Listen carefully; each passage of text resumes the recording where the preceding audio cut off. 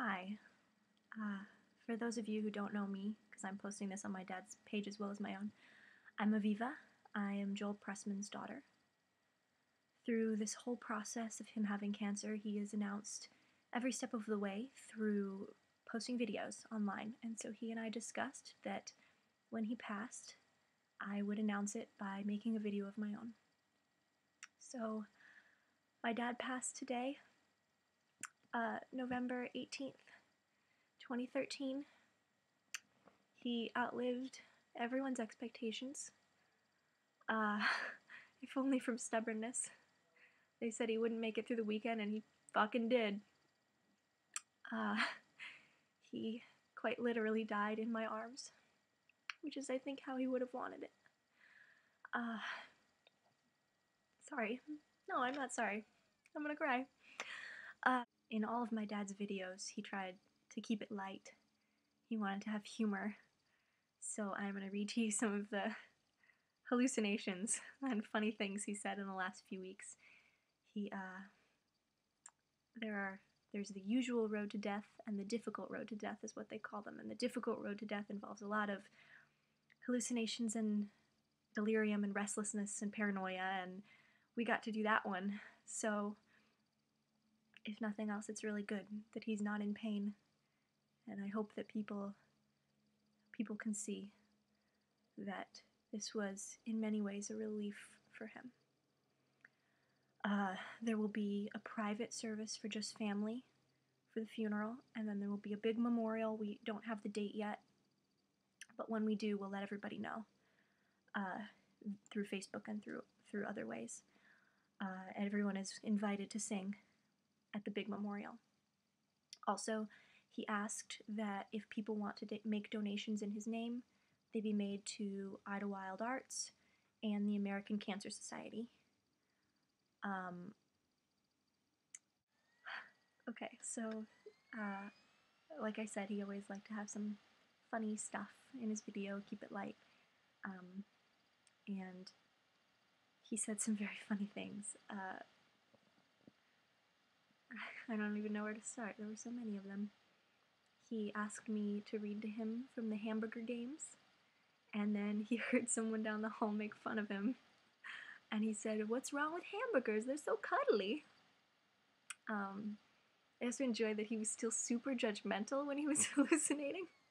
So the other day he looked at me and he said, So we're just going to ignore the trout? It's very judgy. Another judgmental one was he uh he said, I have spider webs all over my legs. So I went, Okay, okay, and I went to clear them with my hand.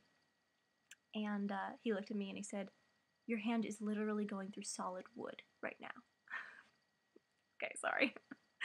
Uh, and then uh, when my brother came and helped the last couple weeks, and he uh, and my dad said, "Go sit in the corner by the door." So my so Elijah got up, and my dad said, "Elijah, don't go."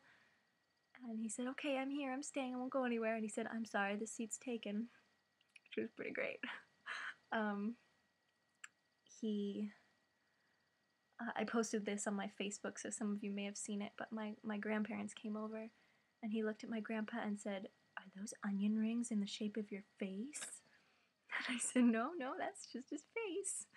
And then later I said, "Why don't we get you into bed?" And and he said, "But I just want to taste Dad's face." it was very sad, but really funny. Um, what else?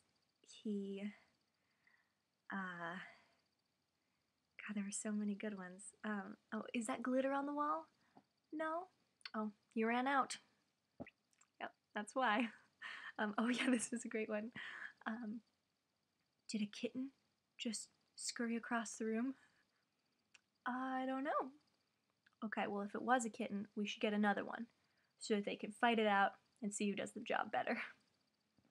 Uh, he also taught some madrigal classes from his bed and uh, dismissed everyone and told them to meet back at the hotel and and actually that one was it was nice. He he uh, he and I had an interaction where he thought that I where I was playing everyone in madrigals and he was on a trip with them and then he said I really hope this isn't a hallucination. And he never knew that it wasn't so that was good Um, yeah, so those were some of the fun moments.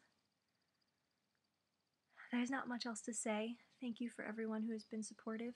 Ooh, thank you for everyone who's been supportive. And uh, I'm not going to be sitting Shiva in a traditional way because I don't want to invite everyone into my house. Sorry, everyone.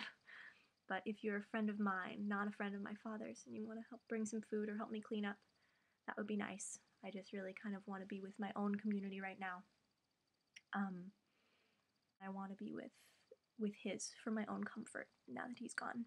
I hope everyone will be understanding of that. And all right, well, uh, rest in peace, Joel David Pressman. It was a good life. Thank you. Bye.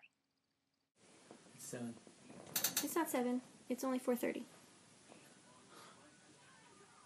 So you're okay to stay there. What's at seven? Warming up and singing with your ragtag bag of gypsies. oh. Well, I'll let you know when it's time for that. Turning them into the firing force. Where are you going? Cleveland, Ohio. Cleveland, Ohio. What's there? Baltimore. I don't think Baltimore's in Cleveland, is it? Did you see the news last night? No. What I ask of all of you is as you go from this experience to the next experience, be proud of yourself, always, with justification. um,